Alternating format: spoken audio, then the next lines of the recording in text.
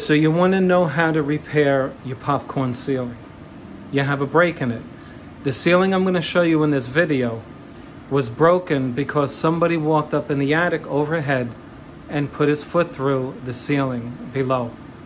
And so this is how you repair a popcorn ceiling. You scrape off the popcorn and then you repair the torn sheetrock just as you normally would. Now in this video, we're not going to replace the popcorn, but I'm going to show you the point at which in the video where you would reapply your popcorn. I'm going to remove the popcorn on this ceiling, but the repair is still the same, regardless of the fact that I'm not reapplying the popcorn. So get your popcorn and enjoy. Friends, thank you for watching my channel. I just want to remind you if you need wallpaper, go to www.wallpaperboulevard.com. Tell them Spencer sent you. In fact, if you use my hashtag, Spencer Colgan is wallpaper, they'll be sure to give you a 10% off at your checkout. No matter how much you order, they have a wide selection of wallpaper. Check it out.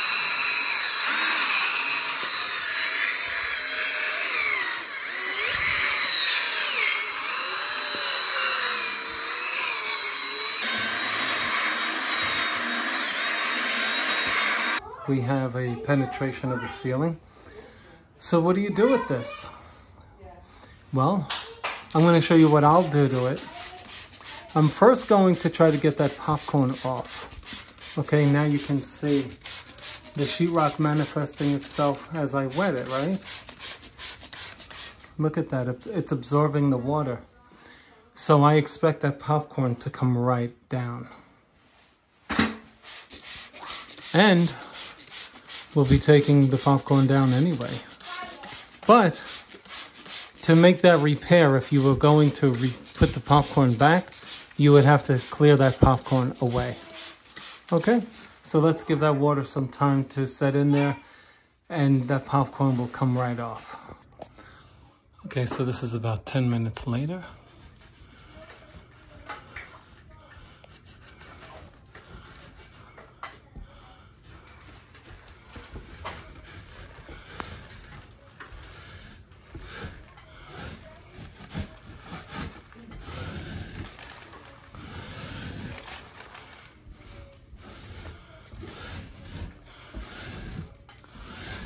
clear the way for a nice repair.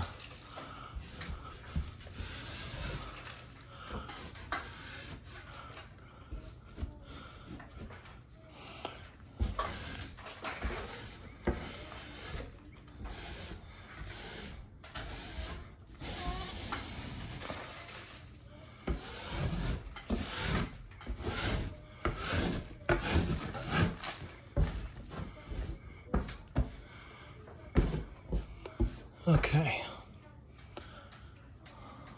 Let's start the repair. I took my knife and I cut a square. Scoring it several times to make sure that I'm penetrated all the way through. Okay. Now we will remove this broken drywall. Okay,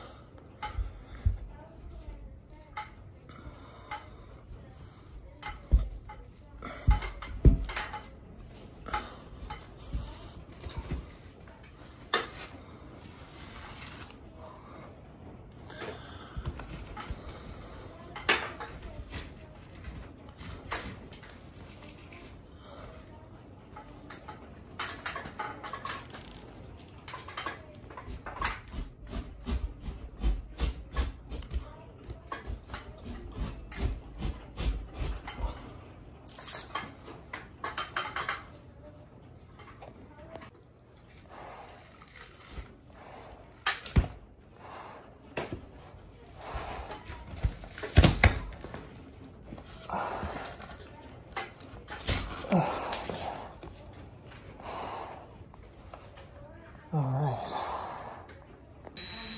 Is it, is it good to touch?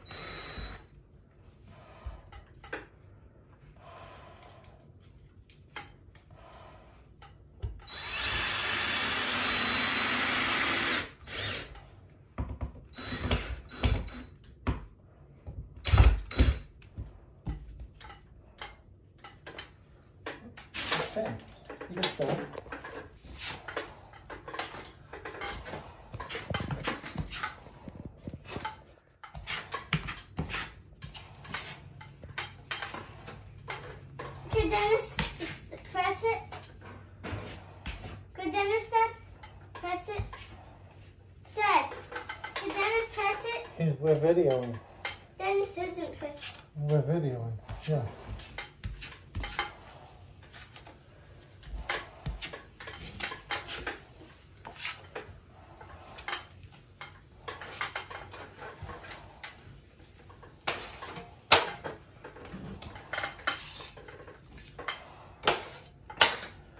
All right.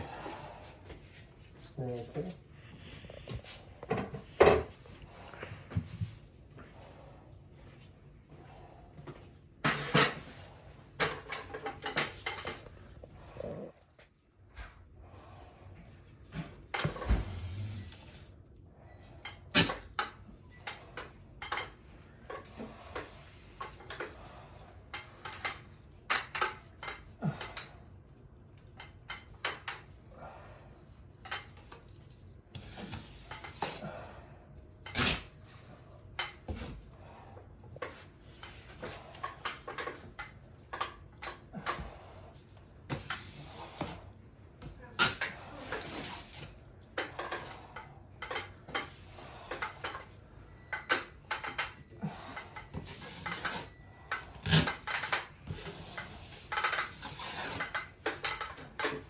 Okay, that's that. Red button? Good one, yeah. So this is day two on our ceiling repair. And now we're going to extend the repair to include a radius double the actual repair. Okay? We've doubled it. Because if you want this repair to be unnoticeable, you have to feather out the repair so that there's no hump. You see, you create an illusion. You made a repair, so there is a hump. That square is a hump. But when you feather it out, what happens is that the light coming from the ceiling, as the light travels toward the repair, it stops at the hump and creates a dark shadow on the other side of it. Just very much like a sunset and the shadow behind a mountain. The light's coming this way, it's going to accentuate the hump here and here and even over there. So when you feather it out, meaning you bring the surface down. You build on it. And then you bring it all the way out to here and you gradually reduce the hump you've made and you feather it out over to here. The light can't get trapped. It sort of does this. Hmm. And sails right over the reduced hill you've made. In fact, you've eliminated the hill and you've made a very gradual ramp. And that's why we feather it out. That's why you don't just do a repair here and then that's it.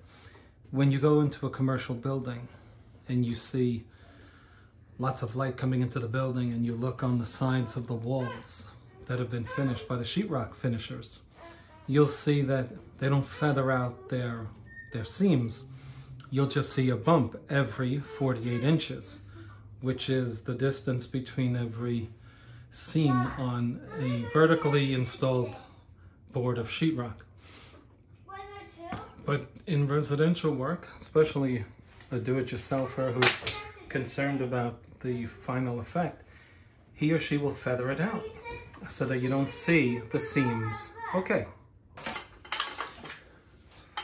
So I've scraped off the popcorn and now I'm going to start the repair. I'm going to feather it out starting right on top of the repair because the repair is going to dictate how thick the layer of repair mud is going to be.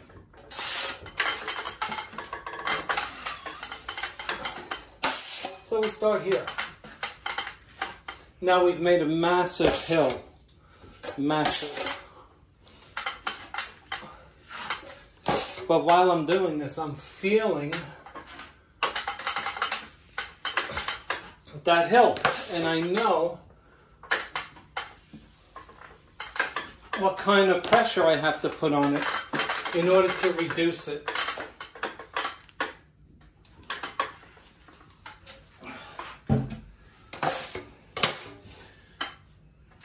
What I'm really trying to do is not to feel it at all.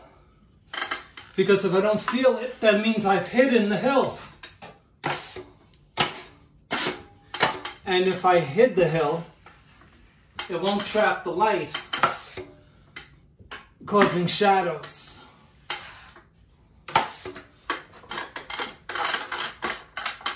So I built it up and now I'm reducing it.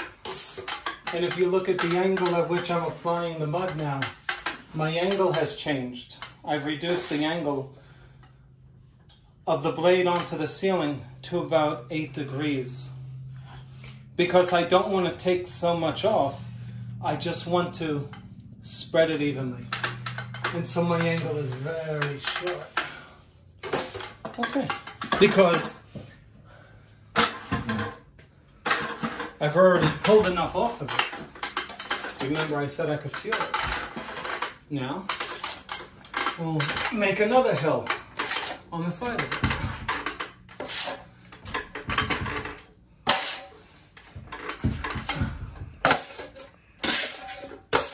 By the way, this will get four coats all together. You'll get another one to make it nice and smooth. And then the last one will be just to fill in any imperfections. Okay.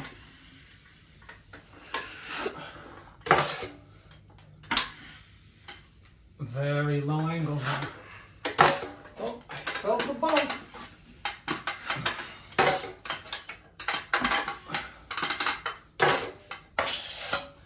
See, just put the camera on the on my hand. So I have my mud here. But what happens when I want to spread it all over my knife? Do I do this? No. I do this. So you take your knife, you start at the edge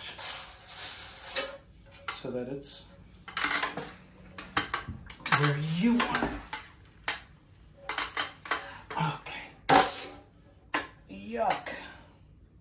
That's not where I wanted it. I won't edit that out.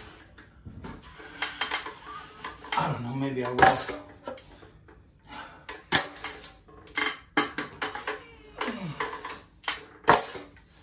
Okay. I'm just pressing lightly. Very lightly.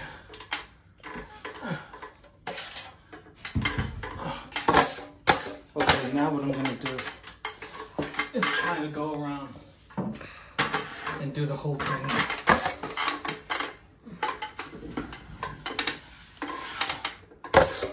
Really light pressing here, because I don't want to take any more off.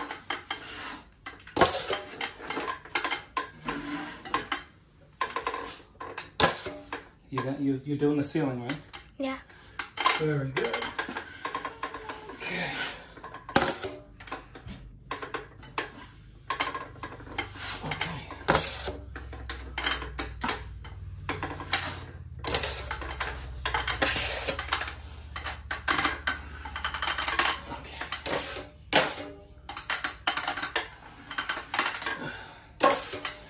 If you really want to be a superstar, do this for five minute marks. You can get it all done in one day.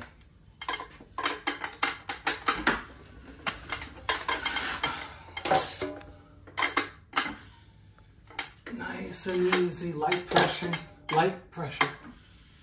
Okay. Okay, now, take a look, let them see the repair. You see my lines that I made? Leave them.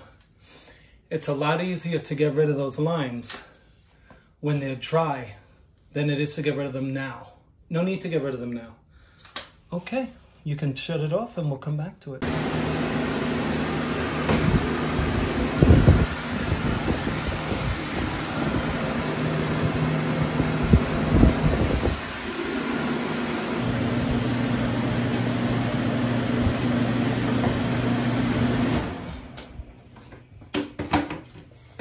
Okay, last coat.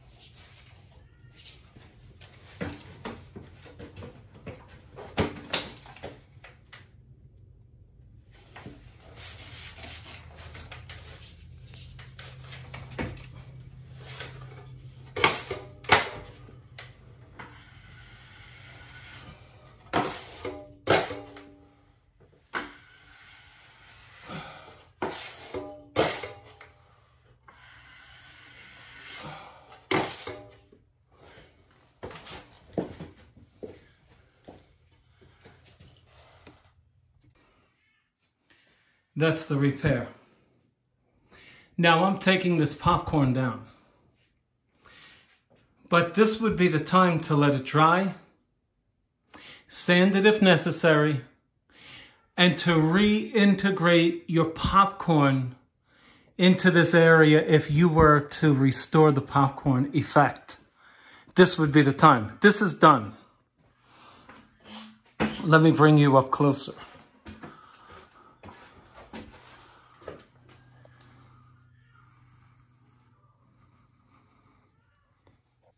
It took four coats altogether. Now the trick is let it dry. Let it dry. Put some fans on it and call it a day.